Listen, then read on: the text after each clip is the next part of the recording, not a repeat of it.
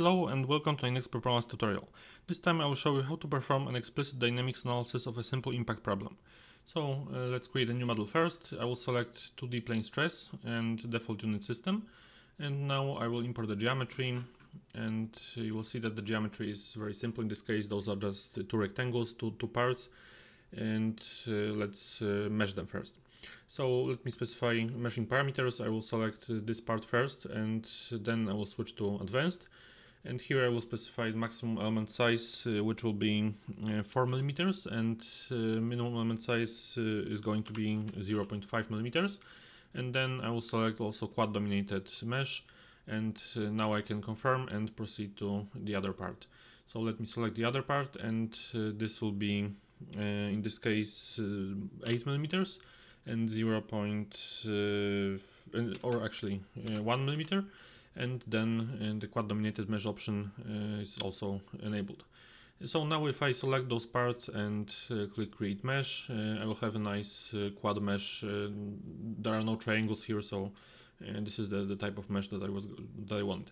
It's quite coarse, but uh, it doesn't really matter here. It's just to, to speed up the analysis. Uh, so, um, but otherwise the, the mesh is quite nice, I would say. All right, uh, so let's proceed with the analysis setup. Uh, I will define a material first. Uh, this will be uh, material for, for the bar, so for this green part. And since it's dynamic analysis, I need to specify the density. And this will be quite typical value. and then I need to specify the um, elasticity. Uh, elastic properties. So Young's modulus also uh, quite typical and uh, Poisson's ratio and those are the values that I need in this case. Mm, and then uh, I will click uh, to add new and then this will be the material for, for the wall. Uh, this is the, the wall right here. And then I need to specify the density. Uh, so in this case uh, the density will be basically uh, very large.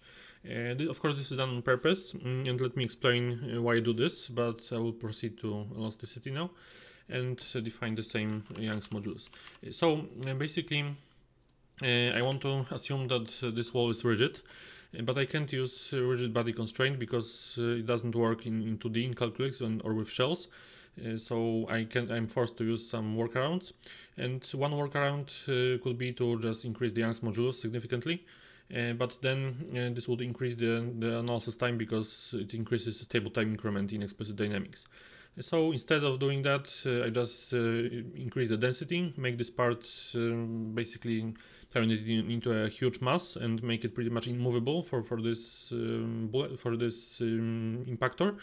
And uh, thanks to that, I, I'm not only able to, to assume that it's sort of rigid, uh, avoid its deformation, uh, but also uh, I speed up the analysis further because uh, the higher the density, uh, for, for some regions, let's say that the higher the stable time increment, and basically it's, it's good for the analysis.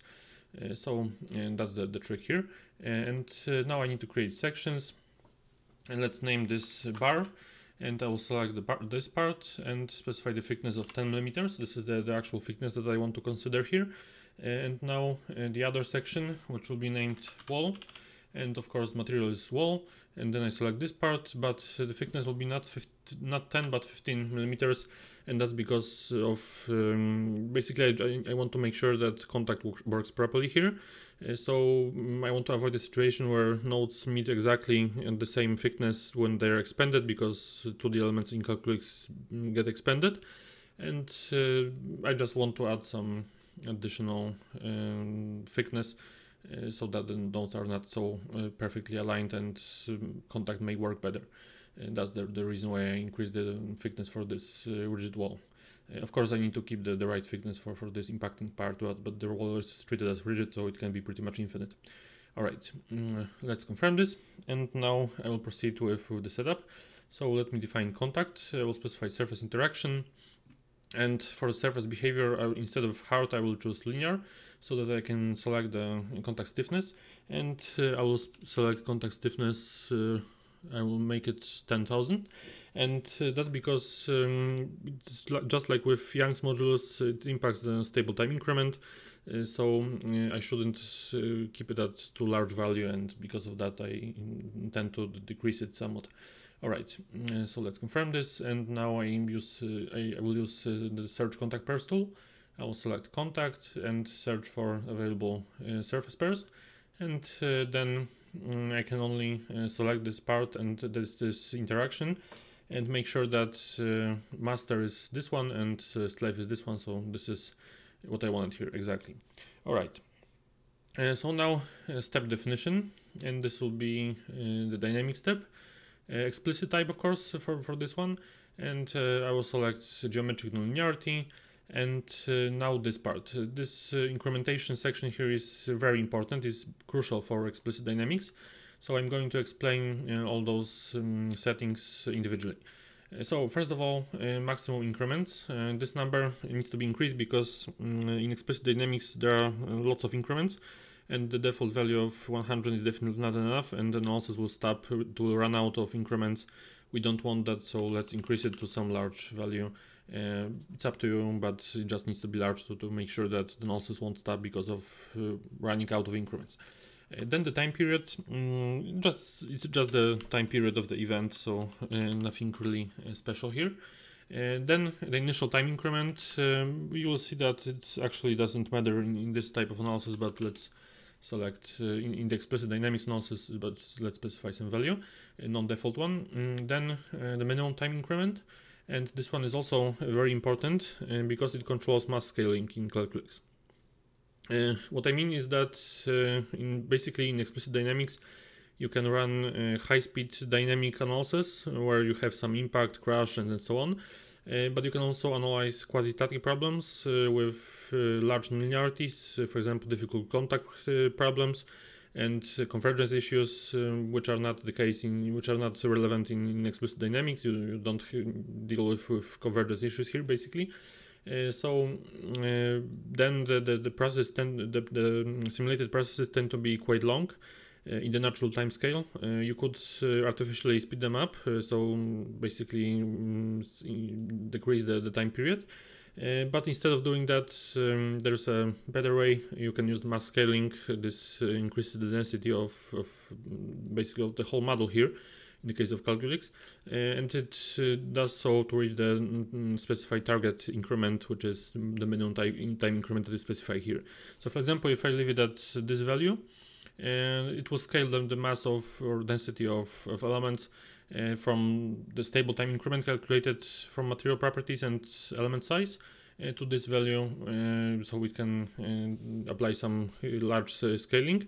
And in this impact problem I want to avoid it uh, so I'll specify a very low value to make sure that it doesn't scale the the mass because it only applies the scaling if, if the stable time increment is um, lower than um, than specified minimum time time increment.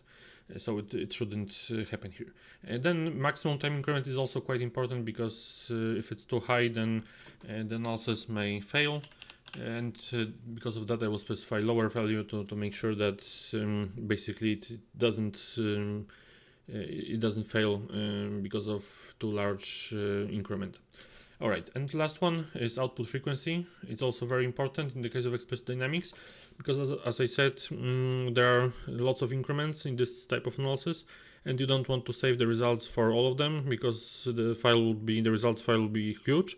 And because of that, uh, it's usually a uh, value between 100 and 1000 uh, is up to you, but in this case 100 makes sense, so uh, let me specify that. All right, uh, that's all uh, for the setup of the step and uh, then I can proceed uh, with the rest. So uh, now let's specify the initial condition because I need to specify initial velocity of this impactor and I can either select it or I can use the part name uh, right here and then I will specify the value uh, which will be 1500 millimeters per second. Uh, and then I can confirm this. And let me just make sure that is the right part. So this one. Okay and now I can confirm this.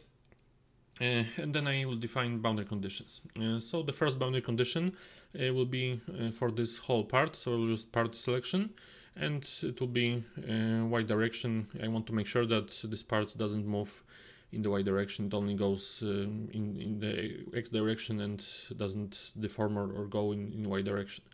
All right, and then uh, another boundary condition for this edge here. Uh, for, for this edge uh, at the back of the rigid surface, or, or let's say rigid, rigid surface, and I want to block all the degrees of available degrees of freedom to make sure that it doesn't move. So, and this is um, also uh, the boundary condition I'm going to specify. And then uh, we have all the boundary conditions. Uh, so basically, I will only change the output request Let's go to field outputs first, element output. And here, here's another trick.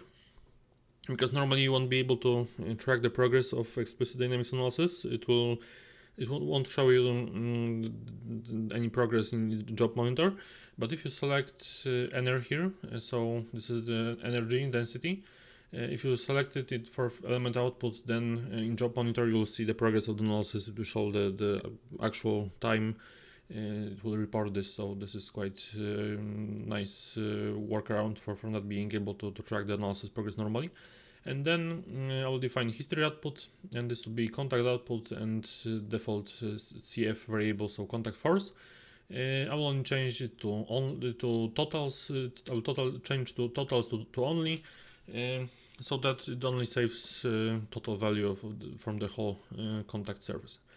And the contact pair is the only one available, so let's leave it. And then uh, the uh, you, basically the, the, setup is complete, mm, but there's one more thing that I need to do in order to run this properly, uh, because and there is uh, one um, bug or limitation in Calculix regarding 2D analysis and initial velocity. Basically, it won't work um, as long as you create a surface uh, or node, node type surface based uh, on the node set used for this initial condition.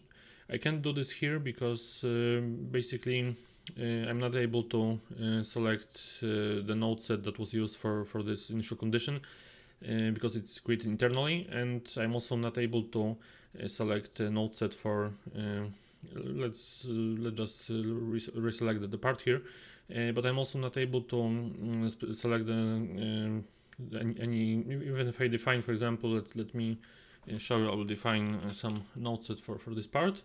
Uh, so let's let's select the whole part and then if I go to velocity, uh, initial velocity, I can't select the node set.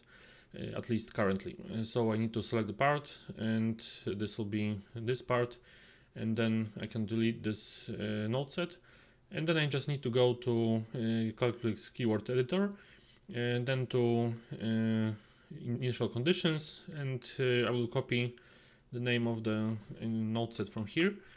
Then I will go to surfaces, uh, add keyword and I will specify user defined keyword.